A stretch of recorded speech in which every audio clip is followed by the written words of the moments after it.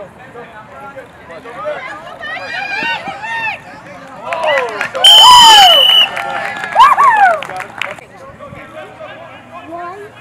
Colt! Get it, bud! Yeah, nice job, Colt.